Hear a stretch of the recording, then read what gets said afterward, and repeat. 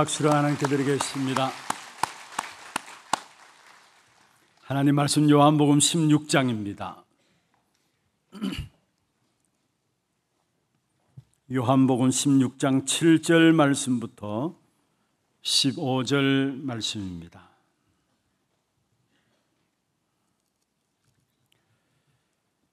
교독을 하도록 하겠습니다. 그러나 내가 너희에게 실상을 말하노니 내가 떠나가는 것이 너희에게 유익이라. 내가 떠나가지 아니하면 보혜사가 너희에게로 오시지 아니할 것이요. 가면 내가 그를 너희에게 보내리니. 그가 와서 죄에 대하여 의에 대하여 심판에 대하여 세상을 책망하시니라. 죄에 대하여라 함은 그들이 나를 믿지 아니함이요 의에 대하여라 함은 내가 아버지께로 가니 너희가 다시 나를 보지 못함이요 심판에 대하여라 함은 이 세상 임금이 심판을 받았습니다. 내가 아직도 너희에게 이를 것이 많으나 지금은 너희가 감당하지 못하리라 그러나 진리의 성령이 오시면 그가 너희를 모든 진리 가운데로 인도하시리니 그가 스스로 말하지 않고 오직 들은 것을 말하며 장래 일을 너희에게 알리시리라. 그가 내 영광을 나타내리니 내 것을 가지고 너희에게 알리시겠습니다. 같이 봅니다. 무릇 아버지께 있는 것은 다 내 것이라. 그러므로 내가 말하기를 그가 내 것을 가지고 너희에게 알리시리라 하였노라. 아멘. 축복을 선하겠습니다. 평안하십시오. 당신은 세계사를 선교사입니다. 그 황무한 땅을 기업으로 누리십시다. 할렐루야. 오늘 은혜로운 찬양 감사합니다. 우리의 순례자의 길을 주 성령께서 우리의 손을 잡고 행하시고 계십니다. 언제까지냐? 요단강을 건너가서 다시 말하면은 하나님 나라 가기 그날 하나님 나라 가는 그날까지 성령께서 말씀하시면서 우리에게 나를 따라오너라 말씀하고 계십니다. 오늘 이 한 날 또 성령께서 우리를 정확하게 말씀으로 인도하시는 그 축복 가운데서 최고로 하나님께 영광 돌리고 여러분에게는 정말로 사실적인 성령의 인도를 받는 축복된 자리가 되기를 주의 이름으로 축원합니다. 어, 어제부터 세계 렘넌트 대회 등록이 시작되었습니다. 이번에 세계 렘넌트 대회는 제 27차로서 어, 그동안 모여지지 않았습니다마는 2019년 이후에 이제 5년 만에 처음으로 어, 전체가 한 자리에 모여서 어, 하나님의 말씀을 붙잡고 또 귀중한 세계 현장을 향한 하나님의 소원들을 마음에 담는 어, 축복의 시간들입니다. 어, 무엇보다도 우리 다락방에 있어서 최대의 축제라고 할 수 있고 또 최고의 명절이라고 할 수 있는 시간들이 언제냐? 바로 세계 Remnant 대회입니다. 어, Remnant 대회 이전에 리더 수련회가 진행되어지고 또 바로 Remnant 대회로 이어지죠. 원래 주제는 영원한 기업, 영원한 작품, 영원한 유산이라는 주제로 전 세계 렘넌트들과 또 렘넌트들 위해서 기도하는 모든 하나님의 사람들이 한 자리에 모여지는 그런 축복의 시간들입니다. 어, 어떤 면에서 지금 우리 렘넌트 대회에 참여하는 분들 보면은 어린 아이 때에 엄마 손을 붙잡고 렘넌트 대회에 참여했다가 그 렘넌트들이 이제는 성장해서 결혼해서 가정을 이루고 또 렘넌트를 데리고 그 자리에 참여하는 어, 그런 분들도 또 많이 있는 것을 보게 됩니다. 후대에게 정확한 언약을 전달할 수 있는 가장 축복된 자리가 아닌가라는 생각들을 해보게 됩니다. 어, 지금 전 세계적으로 렘망대들이 세워지고 있습니다. 그리고 실제로 이런 렘망대를 통해서 이제 하나님의 시간표에 의해서 전국과 전 세계의 전도와 선교와 세계 복음을 위한 새로운 전략과 시스템이 만들어지는 중요한 의미가 있는 렘넌트 대회입니다. 각 교회들마다 이미 기도하면서 응답받는 부분들이 있다면 금토일 시대에 세 가지 뜰의 응답들을 받고 있죠. 이런 금토일 시대 세 가지 뜰의 응답들을 가진 교회와 주의 종들이 이 시대를 놓고 하나님께서 주시는 절대적인 미션과 계획들을 붙잡는 응답의 현장이 바로 세계 렘넌트입니다. 여러분 마음을 담고 정말로 기도해 주시고요. 또 우리 성도들 함께 여기에 함께 참여하면서 우리도 또한 응답의 현장에 있는 어, 그런 축복의 역사들을 누리게 되기를 주의 이름으로 축원합니다. 어, 기도 많이 해 주셔야 됩니다.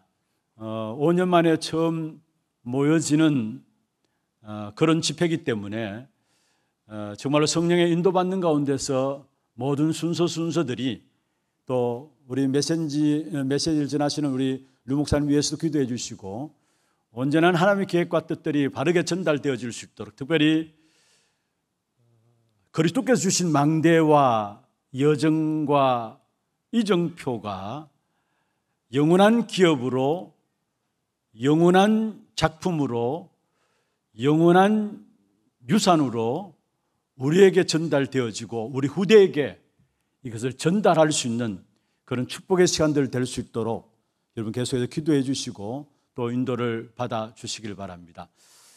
어, 제 등록을 시작했는데 2시에 등록 창을 열었는데 5시 되어서 저한테 보고가 왔어요. 벌써 5천 명이 등록하고 입금까지 완료했습니다. 3시간 만에 5천 명이 등록하게 되고 입금까지 완료했습니다라고 어, 연락이 왔습니다. 아마 모두가 기다리고 있고 또 함께 이런 축복의 시간들이 에, 하나하나 또 확인되어지면서 이분을 놓고 기도하고 있는 분들이 아닌가 라는 생각들을 가지게 됩니다.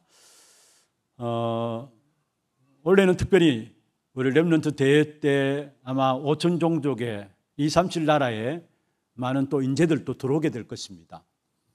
어, 렘넌트 대회 5천 종족을 놓고 기도하는 분들이 너무 많으시더라고요. 이래 만나서 이야기를 해보면 또 전화를 주셔서도 어떻게 하면 그분들을 초청할 수 있을 것인가 문의를 해와요. 우리 교회도 5천 종족에 대해서 또 2, 3, 7 나라를 향해서 진짜 렘런트들 초청하고 싶은데 어떻게 하면 인도를 받을 것인가 개교회에서 연락 오는 교회들도 많이 있고 또 오세아니아권에서는 그 오세아니아 연합회에서 오세아니아권의 렘런트들을 초청하기 위해서 교회들이 하나 되어서 준비하고 있는 부분들도 어, 듣게 되어졌습니다. 어, 우리 교회 또한 이미 이 메시지가 선포되어졌을 때 많은 성도들이 목사님 어떻게 하면 우리도 함께 그게 인도받고 싶습니다. 어떻게 하면 좋을까요? 꼭 그런 부분에 인도 받아야 될 부분들이 있다면은 제게 말씀해 주시면은 제가 그 일에 심부름하겠습니다라는 분들도 많이 기도 가운데 일어나고 있는 것을 보게 됩니다. 어, 정말로 237 나라 5청 종족을 향해서 하나님께서 우리가 가진 복음의 역사들을 전달하기를 원하신 하나님의 소원입니다. 이 소원들을 여러분 마음에 담고 기도하는 가운데서 여러분도 이 축복된 역사 속에 실제로 이것이 여러분의 응답이 되기를 주의 이름으로 축원합니다. 그리고 이번 주에는 특별히 우리 렘넌트 사역자 및 교사 강습회가 진행되어집니다. 그리고 태영아 부모 수련회와 함께 우리 사역자 모임도 진행되어집니다. 아마 광고에 나갔습니다마는 여름 행사를 앞두고 여름 모든 교회들마다 중요한 언약을 집중해서 전달할 수 있는 그런 시간표를 앞두고 먼저 교사들과 사역자들이 은혜 받고 힘을 얻을 수 있는 시간입니다. 화요일부터 수요일, 목요일까지 진행되어지는 우리 렘런트들 위한 교사들 또 사역자들 위해서 여러분이 있는 각기 현장에서 집중해서 기도해 주심으로 말미암아 우리 교사들이 살아야 우리의 미래가 있습니다. 우리 교사들이 힘을 얻어야 그 힘 가지고 우리 렘런트들을 세워 나갈 수 있는 것이고 그 렘런트들 통해서 한 시대의 미래인 재앙의 문제를 해결하는 그냥 축복된 응답이 일어나게 될 것입니다. 그래서 정말로 우리 교사들 위해서 기도해 주세요. 여러분 마음에 담고 기도해 주세요. 사실 우리 교사들 위해서 우리 여름 행사를 위해서 헌금하는 시간들도 교회적으로 가지게 아, 가지게 되겠습니다만은 여러분 마음에 담고 내가 기도하면서 아이를 돌봐야 되는데 우리 교사 사역자들이 대신하고 있구나라는 마음들 가지고 함께 기도해 주시고 함께 인도받아 주시길 바랍니다. 오늘 제목은 진리 가운데로 인도하시는 성령 하나님입니다. 진리 가운데로 인도하시는 성령 하나님이십니다. 우리의 삶 속에서 여러 가지 어려움과 문제들이 올 수 있습니다. 이때에 많은 사람들이 낙심하고 좌절하고 근심 가운데 빠지게 됩니다. 거의 대부분의 사람들이요. 왜 그렇습니까? 그 속에서 하나님의 숨은 계획들을 발견하지 못하기 때문에 당장 당하는 문제와 어려움들 속에 그 속에 빠져가지고 낙심하고 좌절하고 근심과 염려 가운데 빠지게 되는 것을 봅니다. 오늘 본문에 읽진 않았습니다만은 16장 1절 2절에 보면은 예수님께서 제자들에게 말씀했습니다. 많은 사람이 예수 믿는 것 때문에 출교당할 것이다. 교회에서 쫓겨난다는 말이에요. 그리고 많은 사람이 예수 믿는 것 때문에 심지어 죽는 자리에까지 갈 것이다. 그게 2절에 말씀하고 있어요. 그러면 1절에 뭐라 했습니까? 내가 이것을 너에게 이름은 너희로 실족하지 않게 하려 합니다. 했습니다. 실족하지, 실족하지 않게 하기 위해서 너에게 먼저 출고도 당할 것이고 죽는 자리에까지 갈 것이다. 이야기했습니다. 여러분, 우리에게 있는 어려움과 문제 속에서 하나님의 절대적인 계획들이 보여진다면 실족하지 않죠.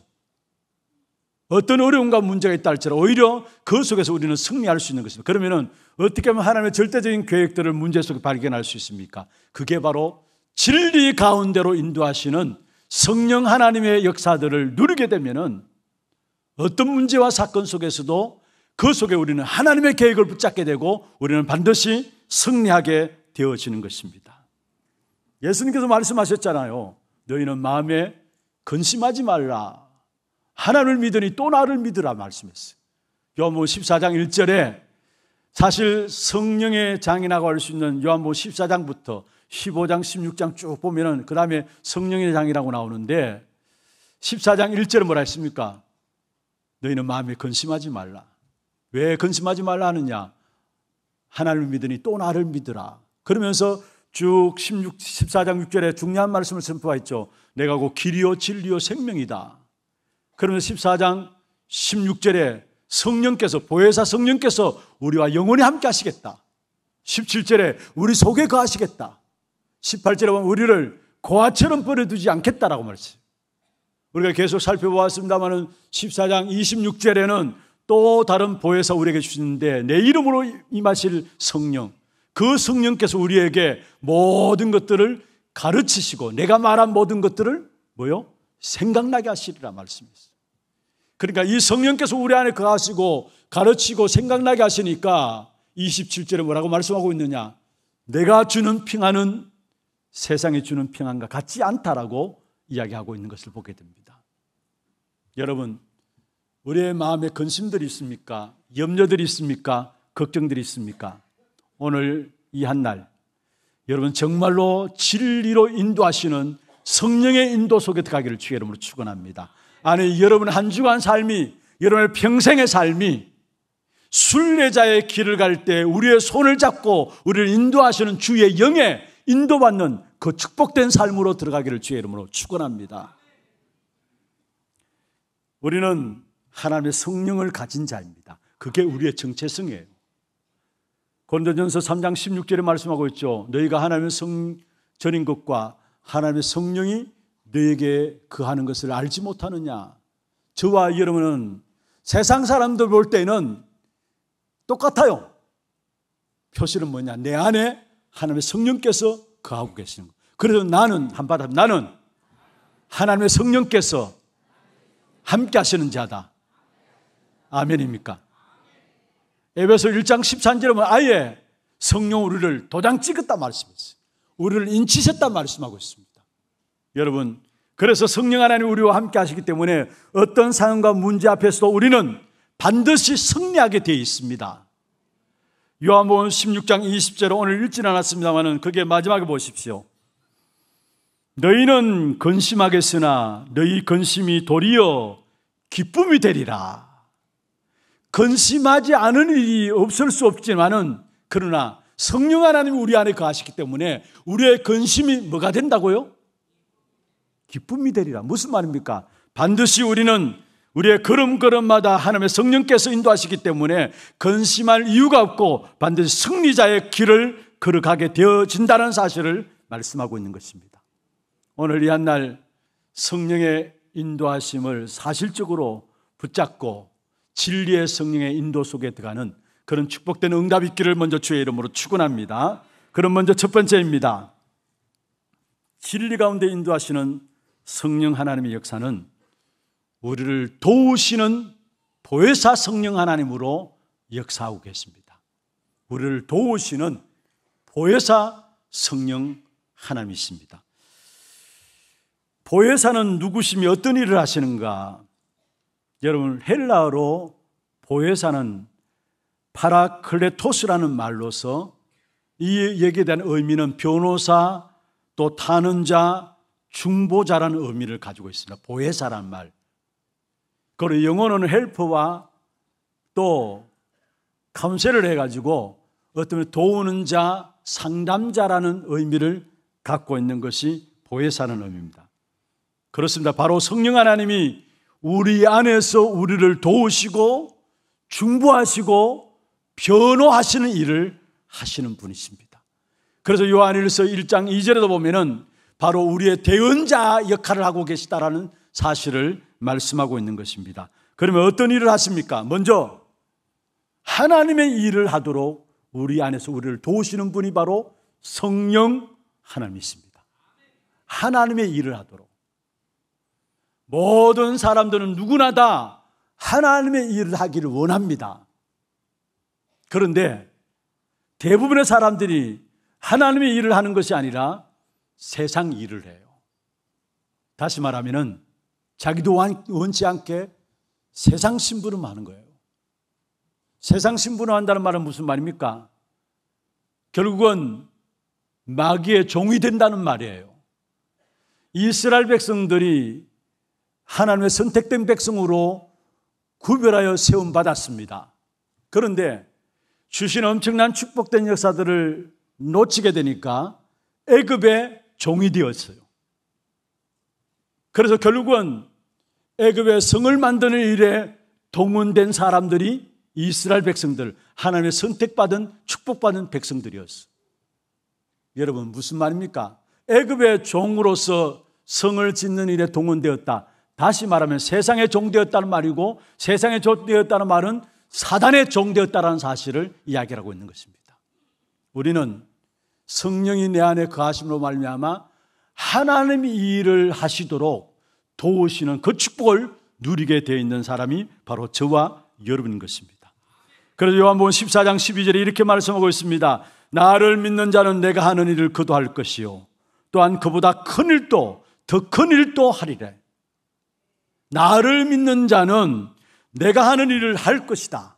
근데 그게 끝나는 게 아니라 나보다 더 큰 일을 또 하리라. 무슨 말입니까? 성령이 내 안에 거하심으로 말미암아 하나님의 일을 도우시는 이 축복된 역사들을 우리가 감당케 된다는 사실을 말씀하고 있는 것입니다. 그렇습니다.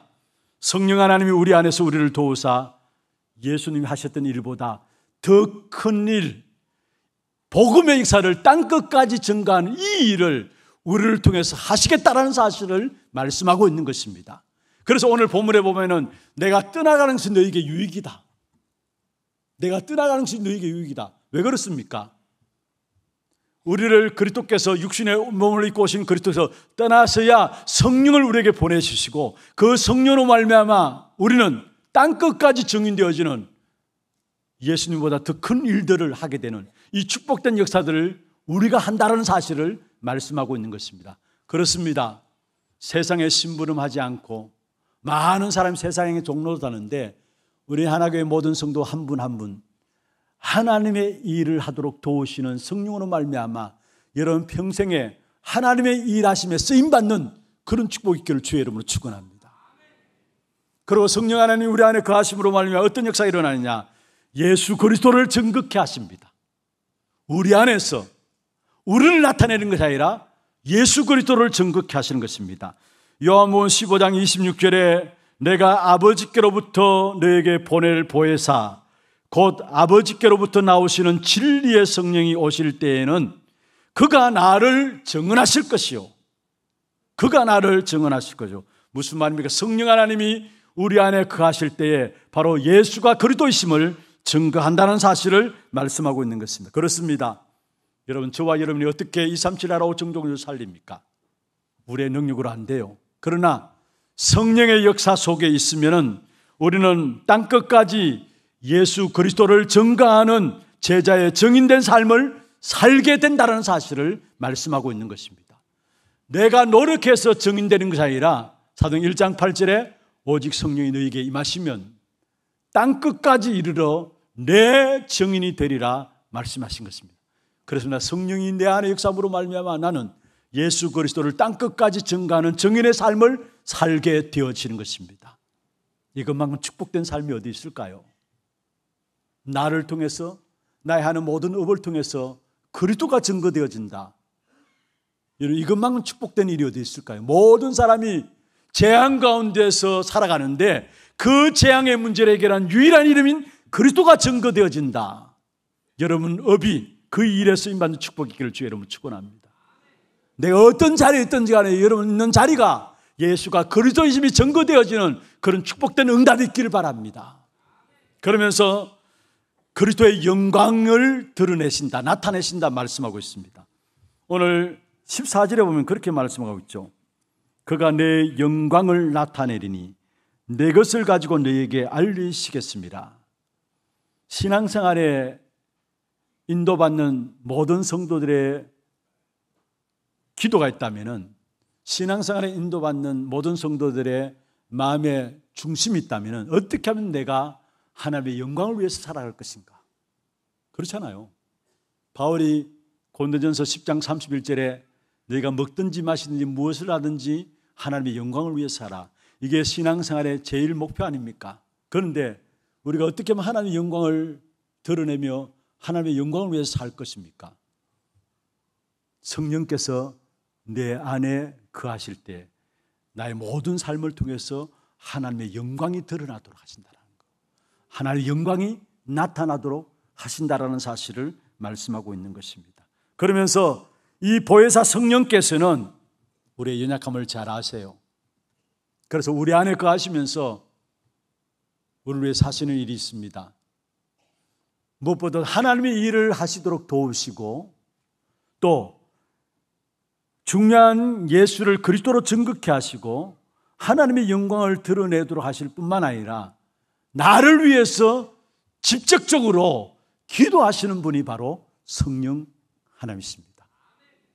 여러분 이제까지 신앙생활 하면서도 물론 열심히 인도받아 나름대로 신앙생활에 열심히 했다라고 하는 분들도 있겠습니다만은 그렇고 그런 삶을 살았다 할지라도 망하지 않고 지금까지 온 이유가 뭔 줄 아십니까? 로마서 8장 26절에 말씀하고 있습니다.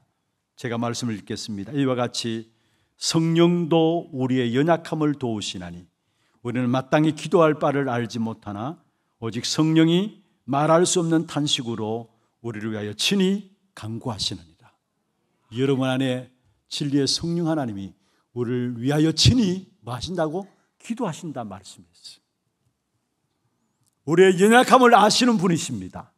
그래서 히브리서 4장 15절에 보면은 우리의 대제사장은 우리의 연약함을 동정하지 못하실 분이 아니다. 그리고 동정하기 위해서 우리와 똑같이 육신의 몸을 입고 오셔서 우리의 당하는 모든 시험을 친히 받으셨다라고 말씀하고 있습니다. 여러분, 우리의 연약함을 다 아시는 성령 하나님이십니다. 우리의 연약함을 아시기 때문에 우리를 위하여 간구하시고 우리를 지금도 도우시고 계시다라는 사실이에요. 여러분, 정말로 진리의 성령의 인도 속에서 우리를 도우시고 계시는 성령의 직접적인 역사들을 날마다 날마다 이런 걸음걸음마다 체험하고 누리는 그 축복 속에 들어가기를 주의 이름으로 축원합니다. 그러면서 이 보혜사 성령은 세상을 책망하시는 성령이라고 오늘 8절부터 11절에 말씀하고 있습니다. 먼저 8절에 보면은 그가 와서 죄에 대하여 의에 대하여 심판에 대하여 세상을 책망하시리라. 죄, 의, 심판에 대해서. 그러면서 10절에 의에 대하여, 11절에 심판에 대하여, 12절에 어 11절에 어, 예, 9절에 죄에 대하여, 10절에 의에 대하여, 10절에 심판에 대하여 쭉 설명을 하고 있죠. 여러분, 그렇습니다. 죄에 대해서 세상을 책망한다 무슨 말입니까? 우리의 가진 원죄는 인간의 가진 그 어떤 힘으로 해결할 수 없는 것이 바로 우리가 가진 원죄 문제입니다. 오직 그리스도를 믿음으로만 해결되게 되어 있는 것입니다. 그런데 세상은 스스로 죄의 문제를 해결할 수 있다라고 가르치고 있습니다. 여기에 대해서 책망하는 것입니다. 성령께서. 그리고 의에 대해서 세상을 책망한다 말씀했는데 하나님 보시는 참 의는 그리스도를 통해서만 주어집니다. 세상의 그 어떤 것으로도 의롭다 할 수가 없어요. 오직 그리스도로 통해서만 우리에게 주어지는 것이 바로 하나님 앞에서 있는 의인 것입니다. 예수님이 이 땅에 오셔서 성육신 하시고 죄와 저주와 사단의 세력을 완전히 꺾으시고 하나님의 의를 하나님이 그리스도로 말미암아 우리에게 이루신 것입니다. 그래서 우리가 착함으로 어떤 면에서 우리의 자신들의 노력으로 우리가 어떤 면에서 열심히 삶으로 제 문제를 해결할 수 있다고 또 어떤 면에 의로워질 수 있다고 생각하십니까? 아닙니다. 그 부분에 바로 책망하신 하나님이신 것을 말씀하고 있는 것입니다. 그러면 심판에 대해서 11절에 보면은 책망한다고 했는데 이 세상 임금이 이미 심판을 받았다라고 말씀하고 있습니다. 그렇습니다. 사탄은 이미 심판을 받았기 때문에 주와 이름은 두려워할 필요가 없는 것입니다. 승리하신 그리스도로 인하여 우리는 날마다 승리를 보장받은 사람입니다. 쏙지 마십시오. 너희가 세상에서 환란을 당하나 담대하라. 내가 세상을 이기었노라. 이미 세상을 이기신 그리스도가 성령으로 내 안에 가시기 때문에 저와 여러분은 승리를 보장받은 사람이 영적 싸움만 싸우면 돼요. 진리의 성령께서 보혜사로 지금도 우리를 도우시고 인도하시는 그 축복 속에서 정말로 올바른 하나님의 응답들을 확인하고 누리는 우리 하나님의 모든 성도들 되기를 주의 이름으로 축원합니다. 두 번째입니다. 성령 하나님이 진리 가운데 인도하신다. 13절에 그러나 진리의 성령이 오시면은 그가 너희를 모든 진리 가운데로 인도하시리니 말씀했습니다. 진리 가운데로 인도하시기 때문에 지금 여러분이 성령 인도받으면 지금 승리하게 돼요. 그렇다면 성령을 받기 위한 성령 인도를 받기 위한 원리가 무엇일까요? 여러분 어떤 면에서 우리가 술 마시고 타락하고 방탕하고 그게 하나님께서 성령 인도하실 필요가 없는 것이죠. 우리 랩런들이 게임에 빠지고 오락에 빠져가지고 그게 빠졌는데 성령께서 인도할 필요가 없는 것이죠. 우리 메시지 가운데 늘 듣는 이야기 아닙니까? 야곱이 엄마의 치맛자락에 앞에 앉아가지고 부지런히 죽을 쓰고 있다. 그게 성령 하나님이 역사할 이유가 없다라는 거. 그렇습니다. 그렇다면 어떻게 하면 우리가 성령의 인도의 축복을 누릴 수 있느냐? 여러분, 말씀 붙잡는 그 자체가 성령의 인도를 받는 길입니다. 하나님의 방법이 뭔 줄 아십니까? 처음부터 지금까지, 아니, 주님 앞에 서는 그날까지 하나님의 백성들을 인도하시는 하나님의 방법은 말씀을 통했습니다. 태초에 하나님의 천지를 창조하실 때에 그 어떤 재료를 활용해 가지고 천지를 창조하신 것이 아닙니다. 말씀으로 천지를 창조하셨어요. 그렇다면 저와 이런 말씀 받는 시간이 중요한 거예요. 오늘 지금 내가 이 말씀 듣는 자리에 앉아 있다는 그 자체가 중요한 것이고 여러분 그 말씀이 내게 들려진다는 그 자체가 하나님의 축복이에요. 왜냐? 하나님 인도하시는 방법 중에 방법이 뭐냐? 처음부터 주님 앞에 가는 그날까지 말씀을 주시고 그 말씀을 이루시는 분이 바로 성령 하나님이시기 때문에 우리가 말씀 듣는 자리에 있다는 그 자체가 성령 인도받는 최고의 축복의 시간이에요. 그래서 예배 때마다 여러분이 아, 내가 오늘 성령의 인도받는 최고의 축복된 자리에 앉아 있다는 사실을 기억하시길 바랍니다. 그리고 중요한 것은 내 인생 하나님께 어떻게 하시느냐? 말씀대로 내 인생을 이끌어 가세요. 여러분 계획 세우고 열심히 나를 난대로 열심히 살아가고 뭔가 계산하고 그게 여러분 인생을 이끌어가는 게 아닙니다. 분명한 것은 하나님께서 말씀대로 여러분의 인생을 이끌어가게 되어 있습니다. 그리고 또한 지금 여러분이 어떤 말씀을 이 강단을 통해 받고 있느냐 그게 여러분 인생의 전부입니다. 여러분 지금 어떤 말씀을 이 자리에서 받고 있습니까? 아니 하나교회 강단의 흐름이 무엇입니까? 한번 살펴보십시오. 그 말씀의 흐름 따라 여러분 인생이 이끌려 왔어요. 여러분 인생이 지금 어떤 말씀을 잡고 있느냐, 그게 여러분 인생의 전부라는 사실이에요. 그렇다면 내가 한 시간 한 시간 주어지는 말씀을 소홀히 하지 않죠. 그래서 말씀 듣는 일에, 말씀 붙잡는 부분에 집중해야 합니다. 악한 사단은 그 일이 성령의 인도받고 승리하는 기름을 알기 때문에 어떻게든지 말씀을 붙잡지 못하도록 하는 거예요. 다른 거 붙잡도록. 그래서 예배 시간에 멀쩡하게 예배드리게 앉아있지만은 생각들은 다른 데 가 있어요. 정말 우리 하나교회 성도들은 말씀에 집중해서 정말로 성령의 충만함 속에 들어가서 진리의 성령의 인도받음으로 말하면 이런 모든 걸음들이 승리의 축복을 누리는 걸음 되기를 주의 이름으로 축원합니다.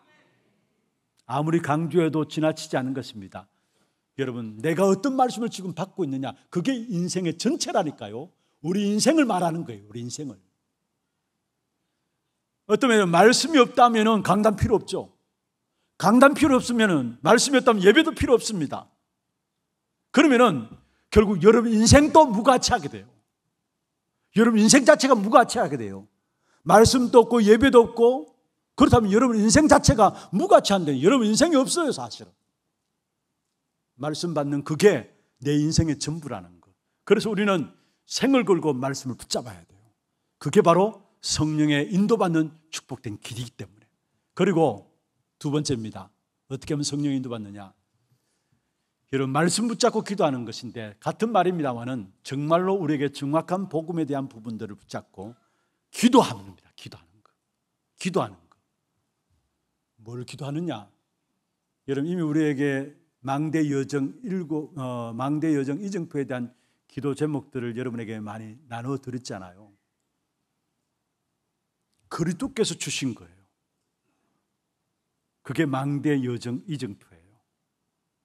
그러면 우리는 딴 것 붙잡고 기도할 것이 아니라 그것 붙잡고 기도해야 돼요. 거의 대부분의 사람들이 그리스도가 주신 것 안 붙잡고 다른 것 붙잡고 기도해요. 그러니까 성령 충만함 누리지 못하고 하나님 인도를 받지 못해요. 중요한 것은 그리스도께서 우리에게 주신 망대 여정 이정표 그 기도 제목들 가지고 기도하면 돼요, 사실은. 그게 어떤 면에서 우리 다락방 운동의 역사 속에 40년 동안에 이끌어온 메시지 가운데 가장 엑기스예요. 한번 보세요, 여러분. 확인해 보세요. 일곱 가지 망대와 일곱 가지 여정과 일곱 가지 이정표. 여러분, 감난산에서 다른 차원의 메시지를 예수님이 제자를 해주시는데 그것 가지고 땅 끝까지 가라 했거든요. 그럼 우리는 그거 붙잡고 기도해야 돼요, 사실은. 그런데 이 또한 쉽지 않아요. 많은 분들이 도전해요. 해보겠다 도전하는데 도전하다 그만두는 사람들도 많은 것을 봐요. 어떤 분은 어제, 아니, 지난 주간에 제 방에 찾아와서 이런저런 말씀을 하시다가 아, 내가 정말로 이 망대 예정, 이정표를 매일매일 열 번씩 써가면서 기도해야 되겠다. 결단을 딱 했다는 거예요. 그런데 해보니까 쉽지 않더라는 거예요. 아니, 쉽지 않죠. 열 번 쓴다는 것 자체가 그냥 집에 계속 노는 사람에는 몰라도 직장 생활 해야지. 여러분 삶의 가정 생활도 해야지. 바쁘잖아요. 사람도 만나야지. 그런데 그 열, 열 번을 쓴다면은 여러분 정말로 그 시간에 집중하지 않으면은 안 되는 겁니다, 사실은. 그렇잖아요. 그런데 처음에는 열 가지, 열 번 쓰려고 계속 썼답니다. 근데 쓰면서도 내가 왜 이 짓 하고 있는가 싶더래요. 내가 왜 이 짓 하고 있는가? 내 기도가 안 되더라는 거예요. 이게 류 목사님 기도지 내 기도가 안 되더라는 거예요. 아마 많은 분들이 그렇게 고백할 거예요. 내 기도가 안 되더라는 거예요. 그런데 한 20, 한 20일 정도 넘어가니까 내 기도가 되어지면서 저절로 힘을 얻게 되더라는 거예요.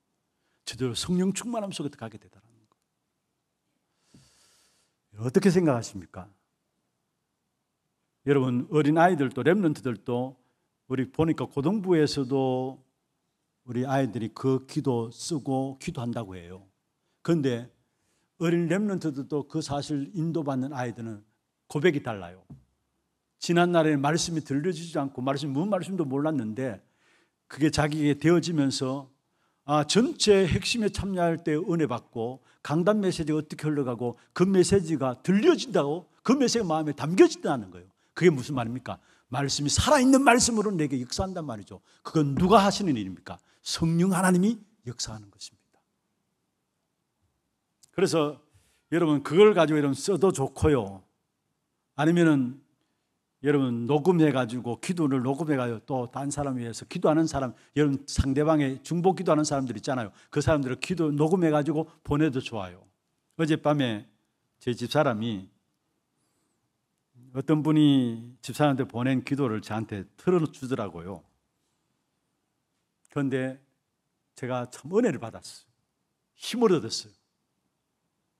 성삼위 하나님께 지금 우리 신봉중 목사님 마음과 생각과 영혼에 충만하게 역사하여 주옵소서. 그 기도를 그대로 제 이름을 넣고 기도 쭉 했던 부분을 녹음해 가지고 집사람한테 보내 왔어요. 제가 많은 은혜를 받고 힘을 얻다 그 정도가 아니라 아, 이게 우리가 상대방을 위해서 축복 기도할 수 있는 최고의 기도구나라는 것들이 마음에 와져요. 그 기도들 제가 짧게 이렇게 들으면서 아, 내가 남을 위해서 기도해 준다, 기도해 준다 했는데 실제로 기도 안 하잖아요, 여러분. 그런데 진짜 중보 기도는 뭐냐? 내가 마음을 담고 복음을 가지고 축복으로 기도하는 겁니다. 이게 최고의 중보 기도 속에 중보 기도의 축복이구나. 제가 은혜 받고 제가 힘을 얻었어요. 여러분, 복음에 대한 정리된 기도 제목들 망대 여정 이정 혹이나 우리 하나교회 성들 아직 뭔 소리가 모르는 분들은 요청하십시오. 그 자료를 드릴 테니까 한번 기도해 보십시오. 정확한 성령 인도 받는 가운데 들어갈 수 있는 귀중한 축복의 역사예요. 여러분 어떤 목사님이 그 부분에 대해서 짧게 훈련하고 왔어요. 3일 정도. 근데 그 이후로 계속 하다 보니까 자녀들이 알아요.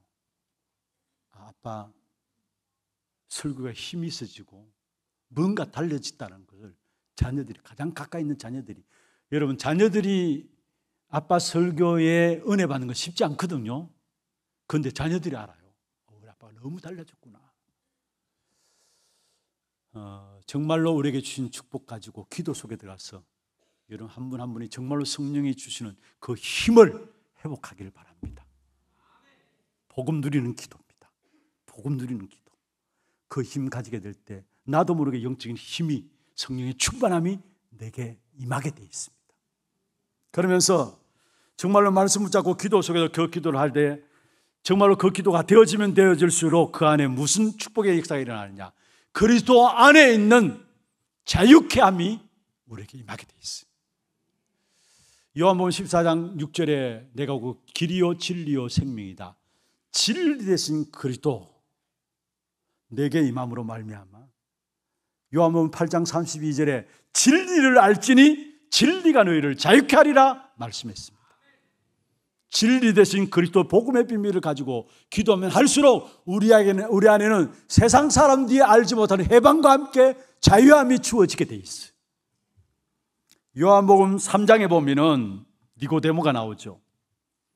유대인의 간원입니다. 바리새인 중에 바리새인입니다. 아마 낮에 예수님께 나온다는 것은 많은 위험을 감수하고 나올 수밖에 없는 것이겠죠. 그래서 밤에 찾아왔어요.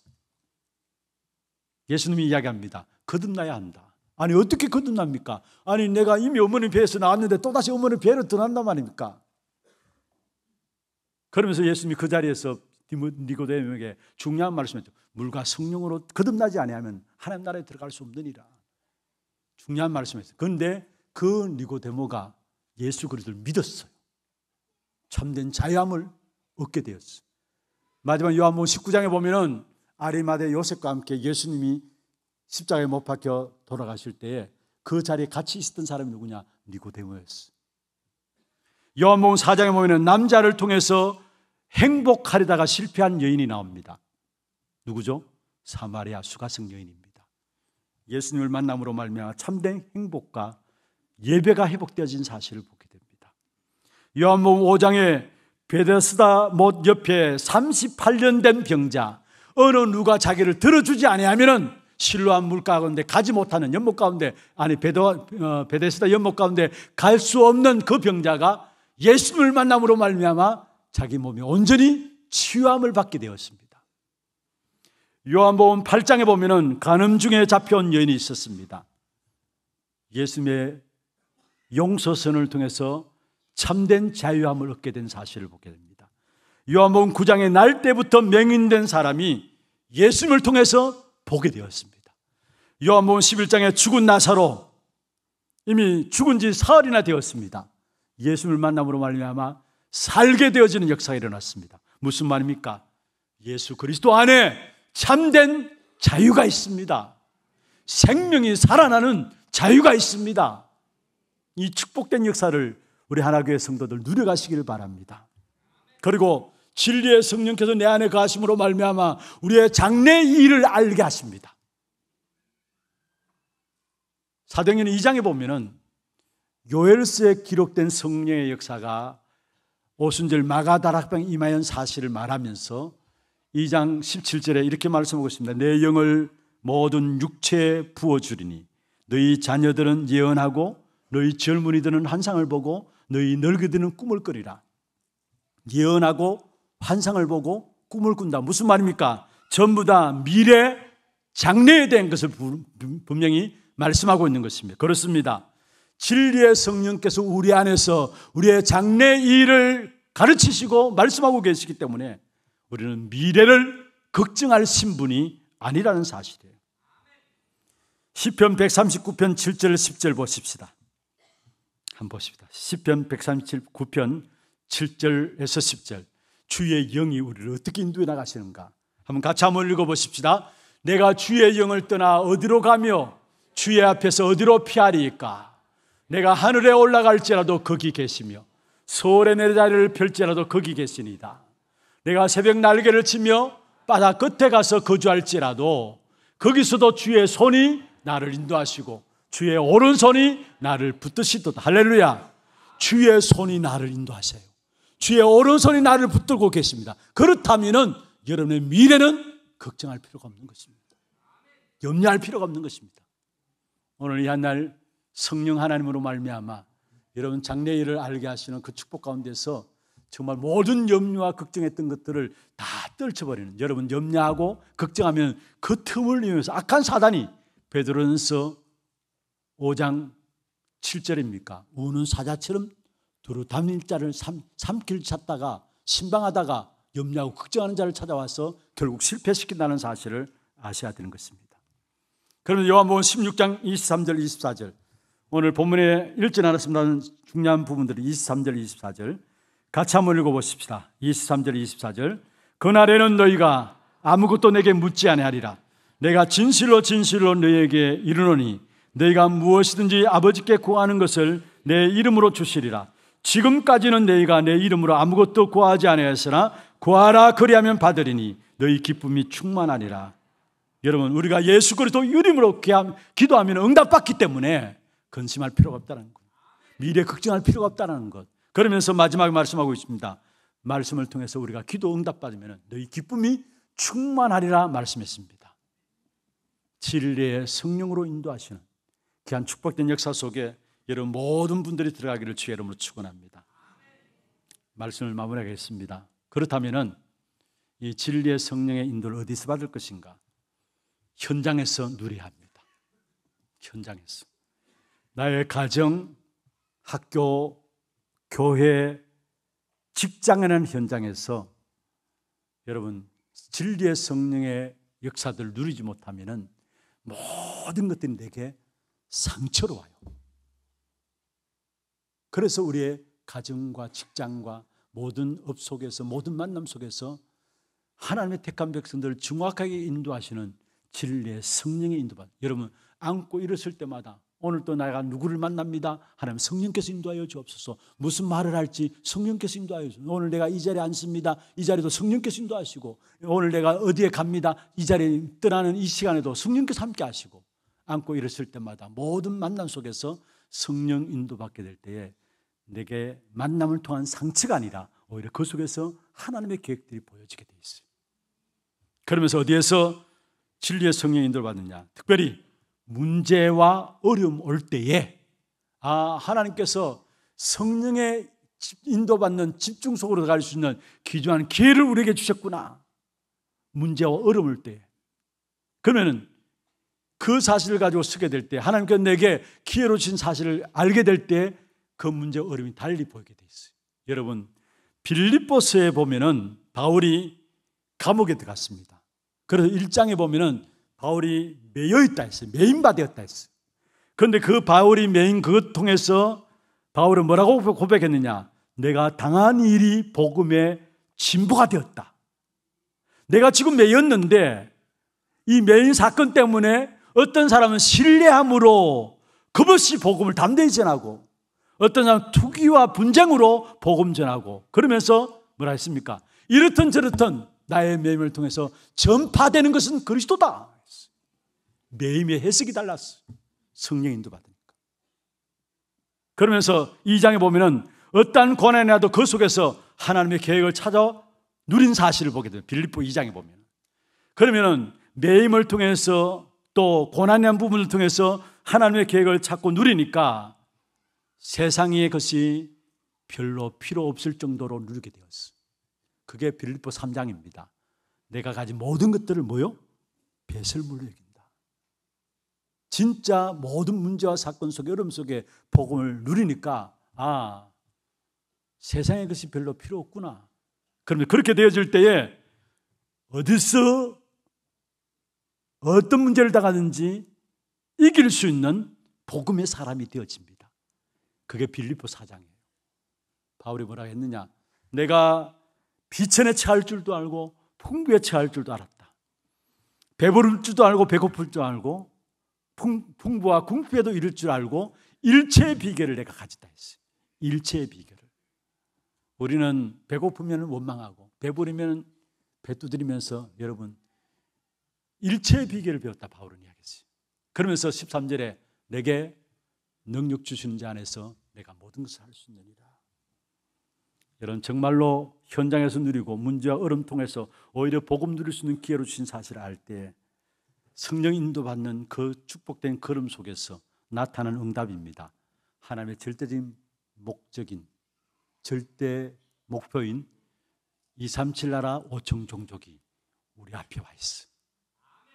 우리가 누리게 돼요. 여러분, 하나님께서 우리에게 주신 절대 목표는 뭐냐? 237 나라 5청 종족을 살리는 겁니다. 정말로 성령 인도받는 가운데 나타나는 응답이에요. 제대로 진리의 성령의 인도를 받으면은 237 나라 5청 종족. 그래서 지금 여름이 모든 어떤 일이 다는지 간에 237 나라와 관계되어 있어야 합니다. 그게 내가 제대로 성령 인도 받고 있다는 증거입니다. 진리의 성령으로 인도하시는 하나님의 인도하신 가운데서 우리의 모든 걸음들이 하나님의 축복의 역사들을 확인하고 누리는 귀한 걸음들이 되기를 주의 이름으로 축원합니다.